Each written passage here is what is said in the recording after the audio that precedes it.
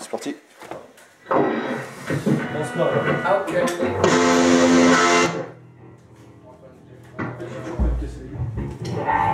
Il va marcher.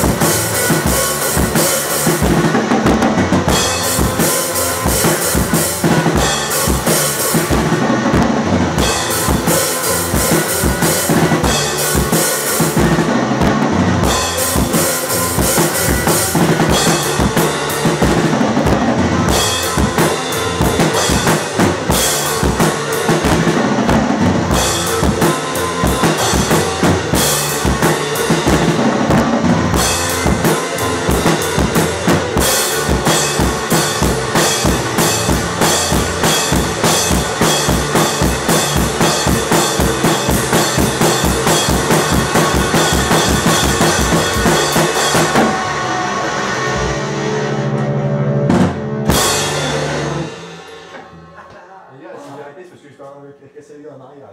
De quoi? Si je t'en si je t'en pas d'arrêter, c'est parce que je Son t'ai cassé les bridge. gars en arrière. Ah, ok. En même temps, regarde. J'ai pété ou quoi le. Il est comme ça. Ah, bah attends, bah le. Il de sortir.